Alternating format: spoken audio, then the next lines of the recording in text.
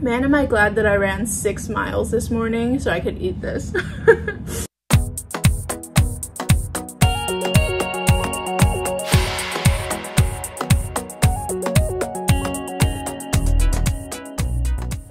Hi and welcome back to my channel. For those of you who aren't in Los Angeles and aren't aware that we are currently in a heat wave. And so what I wanted to do was get some ice cream for my household. And what better way to do that than by supporting some small businesses here in the local Los Angeles area. So the business that I've decided to support today is Kansha Creamery in Gardena. So a little bit information about them. Kansha Creamery is James Tatsuya and Elaine Yukari's ice cream shop dedicated to the simple goodness of dessert and its remarkable ability to bring people together. Everything is handmade with the utmost TLC, tender love and care, by the brother and sister duo with ingredients coming from local organic farmers whenever possible. When a purchase is made, a percentage of sales go to charities around the world, connecting all sorts of people together with a single scoop of vanilla. Today is another perfect day for ice cream. And also kansha is the Japanese word for gratitude. So I love that they are not only trying to bring families together, but also they are trying to give back to the community by supporting uh, local farmers. I know they use some of the fresh fruits from the farmers market in Torrance and then um, even donating some of that money back to charity.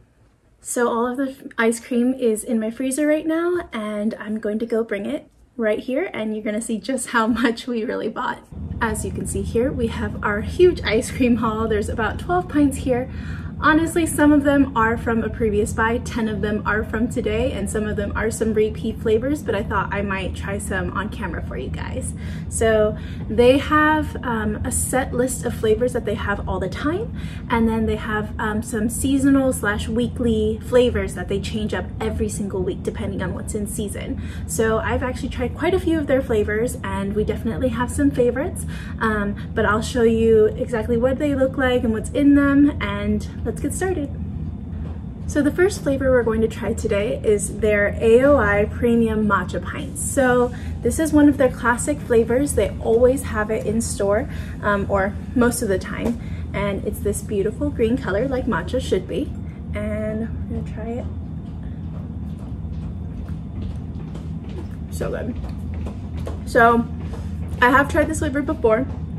It's one of the consistent flavors we try to keep at our house. Um, but it is something just so classic, so fresh, and you can tell that the ingredients are really good and the quality is just great. The next pint we're going to try is the Mr. Universal pint. So this is one of their classics as well. It is a buttery caramel and oatmeal cookie pieces in milk ice cream. So this is actually my brother's favorite. So two of these three pints are actually his. Um, it is a staple that they have and it is just, it's so sweet, so good. It's a little bit sweet, but it's not too rich.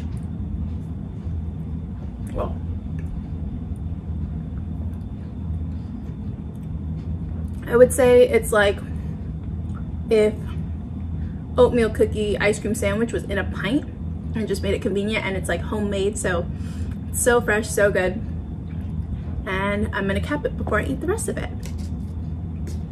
Moving on to some of their more irregular flavors that they just have different ones every week. So the one that made me truly want to go get it today is carrot cake. They just came out with it today and it is house-made carrot cake pieces and cream cheese frosting in milk ice cream. So I'm really excited to try this one.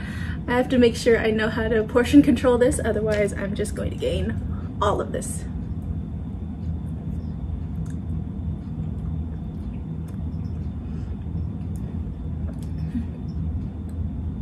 That's everything I could ask for in an ice cream. I love carrot cake so much. Next up, we have the strawberry streusel pint. So this is actually something that was in a couple weeks ago and we still had it in the freezer. I just really wanted to include it because it was one of my favorites. So strawberry streusel is strawberry compote swirl with cinnamon streusel crumble in milk ice cream. So this was actually my brother's pint. Shh, don't tell him I'm eating some of it, but it is one of my favorites. I would say it's like if someone took milk ice cream, put a little bit of strawberries in it, and then the flavor of Cinnamon Toast Crunch. So strawberry and cinnamon toast crunch had a baby. I probably shouldn't finish his pint, but it's so good. So next we have their Hojicha and Kinako pint. So this is their toasted green tea and roasted soybean powder flavor. So this one is so tasty. Unfortunately, my brother is allergic to the soybean powder. Otherwise, he loves this one too. It's super tasty. It's a super light like tea flavor with just a hint of soy. Have to go in for a second one. Mm. Last but not least for today's haul is going to be their recently came out with last week, Honey Peach. So their honey peach flavor is going to be ripe yellow peaches from Arnett Farms. So that is directly from one of the farmers markets here in the area. And also raw honey from Honey Pacifica and a little bit of black tea. I'm a huge fan of fruit flavored teas, so I'm really excited to try this one.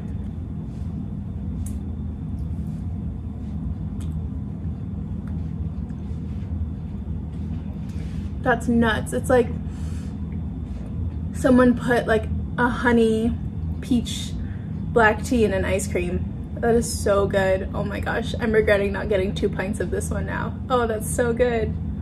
Mm. Man, am I glad that I ran six miles this morning so I could eat this. oh my gosh, that's so good.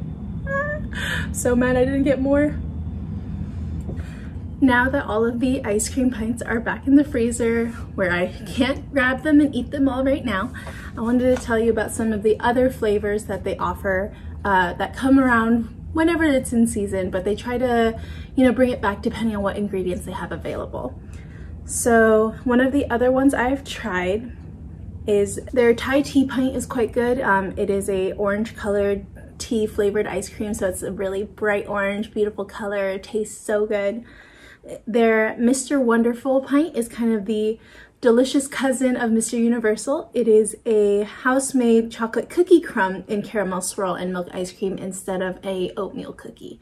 And then we've also had their cookies and cream cheese pint. So that is a Oreo cookie pieces and cream cheese frosting swirl in milk ice cream. And then we've also had my brother's all-time favorite, and he is just hoping and praying and fingers crossed for them to come back into season, is their Ichigo Milk Pint. So that is with um, Farmer's Market fresh Ichigo strawberries and condensed milk ice cream. So he's a huge fan of anything strawberry and milky, and to him it just tastes like, you know, candy, and he, he can eat a whole pint in one sitting.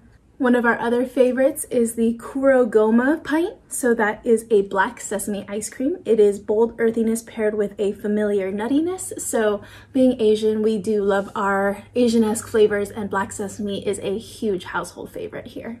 Another fan favorite that we have in the household is the Mugicha Pint. So that is their barley tea ice cream. It is a classic Japanese summer drink made into a refreshing, slightly sweet ice cream. So my grandma just took her spoon and just kept eating through this pint. She loved this one so much. It's light, refreshing, and not too sweet. If you're a big fan of dark chocolate, I highly recommend the Black Metal Pint. They actually have a couple of them available right now. Um, don't know if it will be when this video goes up, but that one is a Brazilian dark cocoa. So it's a sophisticated chocolate ice cream. So those are all the extra flavors that they have randomly every week that I've tried. There are so many other different flavors that they've had that I've never even tried and I didn't have the chance to go out and buy it, but it's just cool because every single week they have new flavor options. It's all on their Instagram, all in their social media, so you can go ahead and follow them. I'll leave all the links down below. Um, ooh, I saw one that I, I did have and it was so good. Their mulberry cheese pint. So that one is house-grown and house-made mulberry reduction swirled in milk-based ice cream with little pockets of cream cheese. So I am a sucker for cream cheese frosting and this one was so good. It's just like a little bit of tartness from the mulberry and the cream cheese base. It was a little rich, but it was so tasty. But absolutely, I do recommend going to Kansha Creamery in Gardena. I'll leave all their information down below and Definitely take this time during COVID to support your small businesses. I know a lot of places are already closing and I'd hate to see any of these great small businesses go down. So definitely check them out and I hope I can make this a regular series.